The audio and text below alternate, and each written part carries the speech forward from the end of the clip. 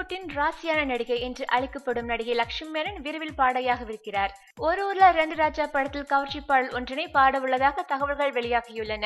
இயக்குனர் ஆர். கண்ணன் இயக்கத்தில் உருவாகி வரும் இப்படத்திற்கு இமான் இசையமைத்து வருகிறார். கும்கி படத்தின் மூலம் தமிழ் சினிமாவிற்குள் நடிகையாக அறிமுகமான நடிகை லட்சுமி மேனன் தொடர்ந்து பல படங்களில் நடித்து வருகிறார். லட்சுமி மேனன் நடித்தால் படம் ஹிட் என்ற நிலையில் இப்பொழுது கோலிவுட்டின் பிரபல தயாரிப்பாளர்களும் நடிகர்களும் லட்சுமி மேனன் நாடி வருவதாக கூறப்படுகிறது.